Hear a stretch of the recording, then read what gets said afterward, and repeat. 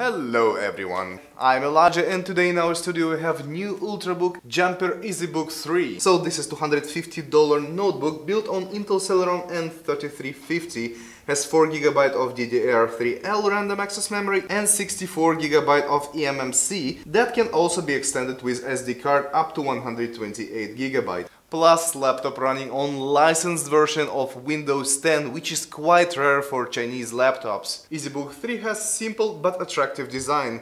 Case of the laptop certainly looks like it was made of metal, but unfortunately it is not. And top, bottom and keyboard panels made of plastic. It feels very light and can easily be held with one hand. The weight of the device is around 1.2 kilo. On the right side of the laptop you will find mini jack for headphones, USB 2.0 and slot for SD card. While on the left there are LED notification light that will light up during the charge, there is a DC port, USB 3.0 and mini HDMI. Speakers of the device are located on the bottom part of the laptop, which is why sound is a bit muffled. EZbook equipped with 14-inch 1080p IPS display with anti-glare coating. Display is very bright and work perfectly on the direct sunlight. Moreover, seems that it is even too bright and while using it with the dim light or no light at all, you may want to decrease brightness. When you're looking on the screen at the horizontal or top angles, it doesn't have any problems, but if you look at it from the bottom, it looks quite washed out. Another feature of EZbook 3 is its very thin, less than 1cm bezels. It's so thin that manufacturers even had to put 0.3 megapixel camera on the lower left corner.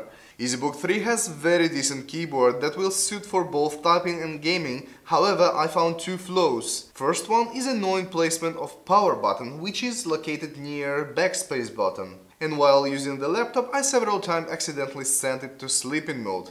And another flaw, which is less noticeable, is the plastic keyboard panel and it's flexing quite a lot.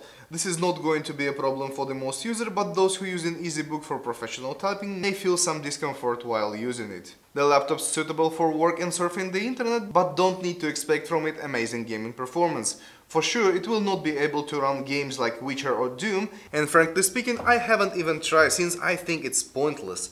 Instead, we have tested EasyPad on Elder Scroll Oblivion. On the medium settings, game showing the result around 1720 FPS and 25-30 FPS on the low settings. Again, I have to remind you that it is not a gaming laptop, you should not expect high performance. Under the hood device has 10,000 mAh battery that will work for around 8 or even 9 hours of normal usage. Under the load of Elder Scrolls Oblivion, the result is around 3-4 hours and of course charge time is about 3.5-4 hours. And that is all for today, I am Elijah. If you want to purchase this device, just press this icon over here or follow the link in the description below. Subscribe to our channel, like our video. Thank you for watching and farewell.